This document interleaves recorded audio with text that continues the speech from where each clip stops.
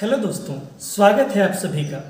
अगर आप पहली बार सीटेट के एग्ज़ाम देने जा रहे हैं, या फिर इससे पहले भी अगर आप दे चुके हैं इस एग्ज़ाम को तो एक समस्या आपके सामने हर बार आती होगी कि टाइम मैनेजमेंट कैसे हो इस एग्ज़ाम में। किस तरीके से हम प्रश्नों को सॉल्व करें ताकि जो हमको दिया गया समय है, इस दिए गए समय में ही हम लोग सारे प्रश्नों को सॉल्व कर लें। तो आज की वीडियो में हम लोग इसी पे चर्चा करेंगे और इसके साथ साथ हम लोग समझेंगे कि आखिरकार हम लोग का टाइम मैनेजमेंट का फंडा क्या होना चाहिए ताकि जो हमारा समय दिया गया है, इस समय में हमारे सारे प्रश्न सही सही निकल कर सामने में आ जाए। तो हम एक एक करके कई जो पॉइंट महत्वपूर्ण है यहाँ पे, वो देखेंगे और इस वीडियो के अंत तक आपका सारा जो डाउट होगा, वो क्लियर हो जाएगा।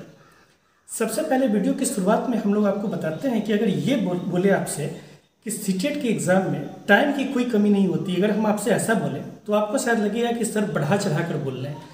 लेकिन हमने खुद कई बार इस एग्ज़ाम को दिया है और आपको विश्वास के साथ बताते हैं कि सी का एग्ज़ाम ऐसा है कि इस एग्ज़ाम में टाइम की कमी होने की कोई बात ही नहीं है। कैसे कमी नहीं होगी? इसको अगर समझना हो तो आपने महान जो वैज्ञानिक हैं आइंस्टीन, इनका नाम तो ज़रूर सुना होगा। इनकी जो थ्योरी है रिलेटिविटी की, इस थ्योरी को अगर सिंपल शब्दों में कहा जाए तो आप ऐसे समझिए कि अगर आप किसी गर्म तवे के पास बैठे हुए हैं तो वहाँ पर बैठा हुआ आपको हर एक पल जो बीत रहा होगा, हर एक सेकेंड जो बीत रहा होगा तो आपको लगेगा कि कई साल के बराबर है। लेकिन दूसरी तरफ़ अगर आप एक खूबसूरत महिला के साथ बैठे हुए हैं तो वहाँ पर आप चाहे घंटों क्यों ना बैठ जाए, वहाँ पर बैठा हुआ आप घंटों आपको कुछ ही सेकेंड के बराबर लगेगा। तो यही बात होती है सी के एग्ज़ाम में। यहाँ पर आपको सारे प्रश्नों को सॉल्व करना है, और सारे प्रश्नों को सॉल्व ही नहीं करना है, बल्कि दिए गए समय में सॉल्व करना है। इसलिए आपको ऐसा महसूस होता है कि आपके पास समय की बड़ी कमी है। भले आपने घर से कितनी भी तैयारी करके आई हो, यहाँ पर आपको समय कम लगेगा। तो ऐसा नहीं है। क्यों ऐसा नहीं है? इसकी चर्चा हम लोग इस वीडियो के अंत में फिर से दोबारा करेंगे। लेकिन उससे पहले आइए देख ले कि आखिरकार सी के एग्ज़ाम में टाइम मैनेजमेंट हम लोग किस प्रकार से कर सकते हैं। आप यहाँ पर देखिए, जो सी का एग्ज़ाम होता है, ये एग्ज़ाम कुल ढाई घंटे का ये एग्ज़ाम होता है। ढाई घंटा है आपके पास, कहने का मतलब आपके पास 150 मिनट होंगे। 150 मिनट है और अगर हम पेपर वन की बात करें या पेपर टू की बात करें तो यहाँ पर आपके सामने प्रश्न भी डेढ़ सौ प्रश्न होंगे। कहने का मतलब है कि आपके पास डेढ़ सौ मिनट है और प्रश्न भी डेढ़ सौ है।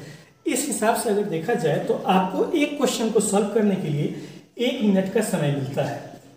अब आप में से कुछ लोग बोलेंगे कि, सर, एक मिनट का समय तो बहुत कम है। एक मिनट में हम क्वेश्चन को कैसे सॉल्व कर सकते हैं?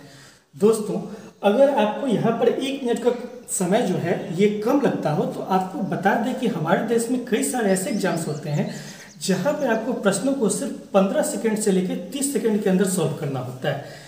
खुद अगर आप बैंकिंग के एग्ज़ाम ले लें, या फिर रेलवेज के जो एग्ज़ाम होते हैं, इन एग्ज़ाम को ले लें तो यहाँ पर आपको 15 से 30 सेकेंड के अंदर ही प्रश्नों को सॉल्व करना है, और उन प्रश्नों का लेवल सी के एग्ज़ाम के लेवल से कई ज़्यादा गुना मुश्किल होता है।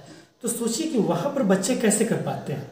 यहाँ पर आपको डराया नहीं जा रहा है। आप इस बात को समझिए कि हमेशा इस बात का नकारात्मक मन में लेकर नहीं चलना है कि, सर, हमारे पास समय की बहुत ज़्यादा कमी है। आपके पास समय की कमी बिल्कुल नहीं होगी। जब आप इस वीडियो में जो समझाया जा रहा है, इस हिसाब से चलिएगा तो अगली बार से आप देखिएगा कि आपके पास समय बच जाएगा।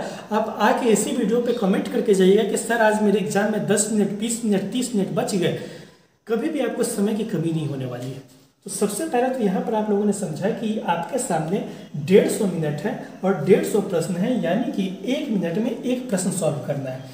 इसी को अगर आप सेक्शन वाइज ले चले, जैसे कि यहाँ पर हम लोग पेपर वन की बात करते हैं पेपर वन में आपके सामने कुल मिलाकर पाँच सेक्शन होते हैं। ये पाँच सेक्शन कौन कौन से हैं? फ़र्स्ट जो सेक्शन है आपका वो सीडीपी का है चाइल्ड पेटागोजी का। सेकेंड जो सेक्शन है ये आपका मैथ्स का सेक्शन है। थर्ड जो सेक्शन है, ये है ईवीएस का। इसके बाद आपका लैंग्वेज वन और इसके बाद फिर लैंग्वेज टू यानी कि आप कुल मिलाकर देखिएगा तो एक, दो, तीन, चार, पाँच सेक्शंस आपके सामने होते हैं।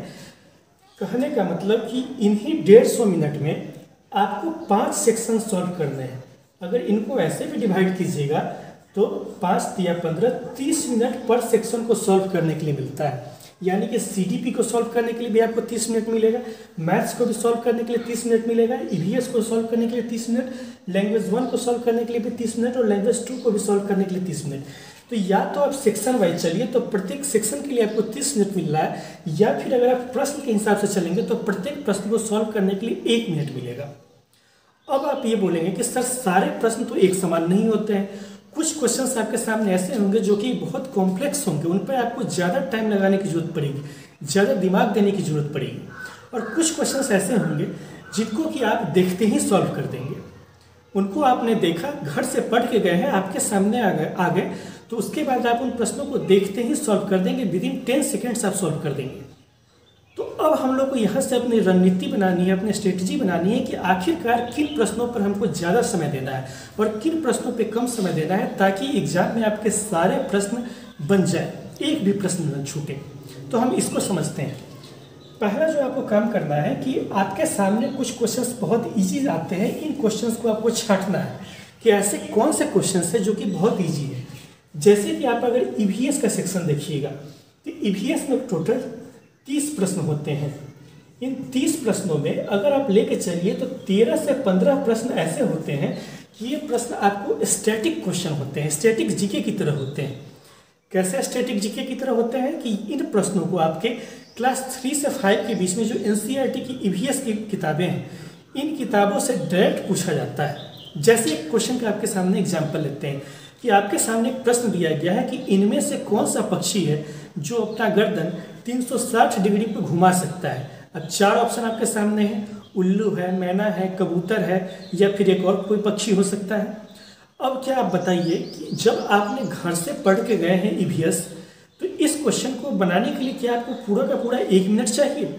या फिर जैसे ही आपने इस प्रश्न को देखा, आपके दिमाग में तुरंत ध्यान में आ गया होगा, अरे सर, इसका तो उत्तर जो है उल्लू होना चाहिए। अब आपने क्या किया कि आपको ये जो उल्लू वाला प्रश्न है, इसको सॉल्व करने के लिए जो 60 सेकेंड या बोले कि एक मिनट मिला है।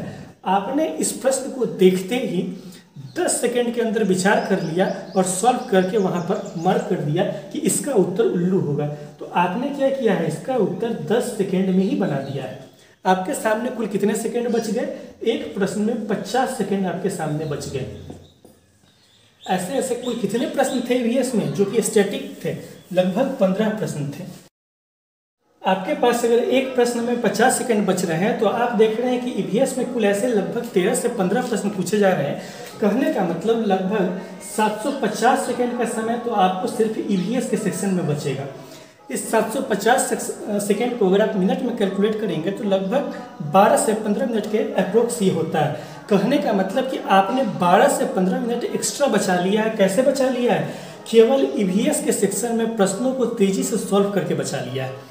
इसी तरह की चला कि हम लोग को हिंदी, जो हम लोग का कॉम्प्रिहेंसन होता है, उसको सॉल्व करते समय भी दिखाना चाहिए। ऑलमोस्ट हमारे नॉर्थ इंडिया के लोग हैं वो लैंग्वेज वन में हिंदी लैंग्वेज वन या टू में हिंदी का चुनाव करते ही करते हैं। और जब वे हिंदी का चुनाव करते हैं तो यहाँ पर क्या होता है कि हिंदी के कॉम्प्रिहेंसन को सॉल्व करते समय हिंदी के जो प्रश्न होते हैं वो बहुत इजी होते हैं। आप इन प्रश्नों को एक बार में या दो बार में देख के बहुत आसानी से और बहुत तेज़ी से बना सकते हैं। तो इसी तरीके से आपको समय छुड़ाना है, कहाँ से छुड़ाना है? तो हिंदी का जो लैंग्वेज है, इसके कॉम्प्रिहेंसन के प्रश्न बनाते समय भी आपको समय को छुड़ाना है।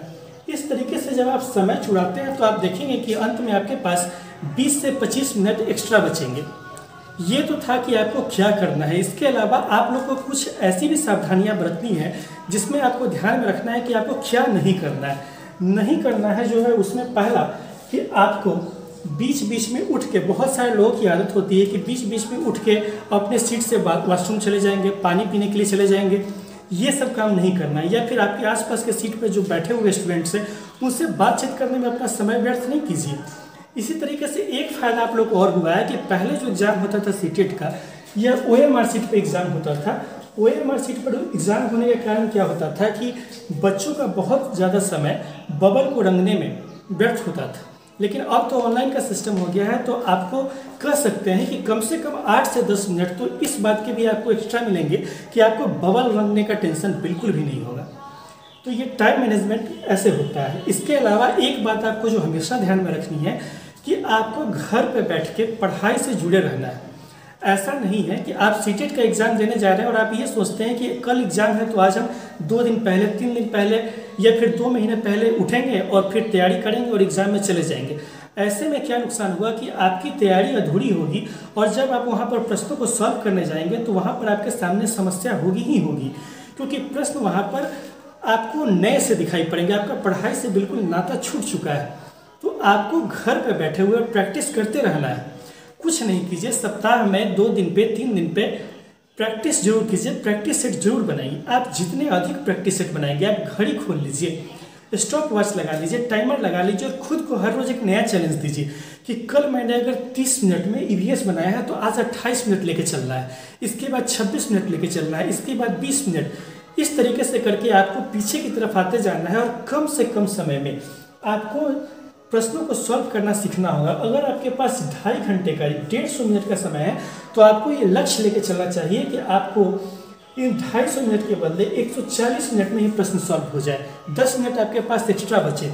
इस तरह का प्रैक्टिस जब आप घर पे करेंगे, तब जाके एग्ज़ाम में आपके सामने ऐसा होगा कि समय बचेगा, कभी भी कोई प्रश्न छूटेगा नहीं। तो इसी तरह की और भी इन्फॉर्मेटिव वीडियो के लिए हमारे चैनल के साथ आप लोग जुड़े रहिए। हमारे चैनल को लाइक और सब्सक्राइब करना बिल्कुल ना भूलें। साथ में बेल आइकन भी ज़रूर दबा लें। तो आज के लिए इतना ही। धन्यवाद। Thank you